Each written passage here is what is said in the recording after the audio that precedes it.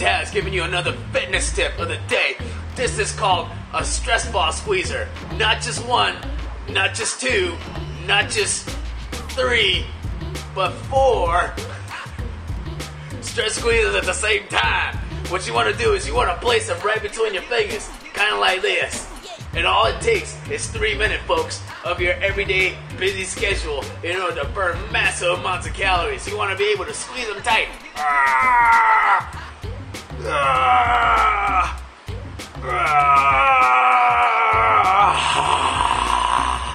I feel like I just burned everything I ate this whole entire week.